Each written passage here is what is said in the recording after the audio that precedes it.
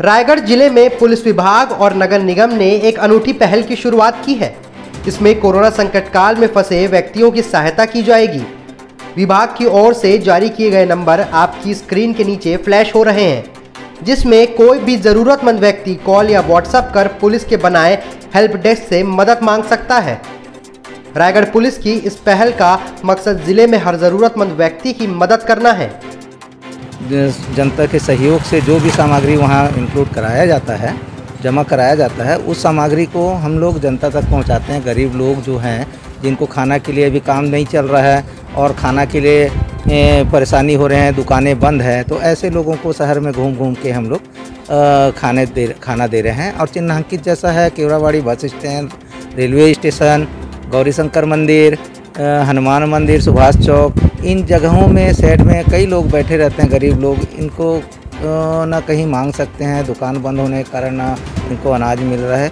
इसलिए उनके द्वारा दिया गया सामग्री को सेवा की दृष्टि से। रायगढ़ ज़िले में अभी लगातार अभी लॉकडाउन की प्रक्रिया प्रारंभ की गई है, जिसमें इस बार किसी भी प्रकार से समाज सेवी संगठन या दूसरे अन्य एन को स्वयं से खाना बांटने या राशन बांटने की अनुमति नहीं दी गई है। और इसलिए एक बहुत सारे लोगों का फ़ोन भी आ रहे हैं और हमसे कांटेक्ट कर रहे हैं कि वो ज़रूरतमंदों को कुछ प्रदान करना चाहते हैं।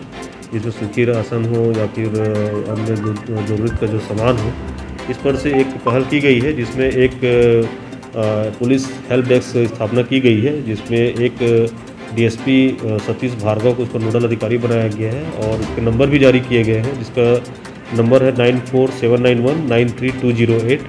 इस नंबर पे जिसको भी कोई अगर सामान या सामग्री अगर देना चाहते हैं तो इसमें कांटेक्ट कर सकते हैं। और साथ ही साथ इनको अगर किसी व्यक्ति को आवश्यकता हो, अगर वो ज़रूरतमंद हो, अगर वो चाहते हैं कि इनको चीज़ें मुहैया नहीं हो पा रही है, इस नंबर में कांटेक्ट करने से उनके पास कोशिश हम करेंगे कि यथाशीघ्र वो सामान पहुँच जाए। तो इसलिए ये पहल की गई है ताकि लॉकडाउन के समय में जो लोग कुछ डोनेट करना चाहते हैं, उनके लिए एक समुचित एक जगह रहे और एक आदमी रहे जो उनके लगत सतत संपर्क में रहे। उसी प्रकार से ज़रूरतमंदों को भी इससे सहायता मिल सके। टीसीपी 24 के लिए रायगढ़ से श्रीपाल यादव की report. TCP 24 number one growing news network.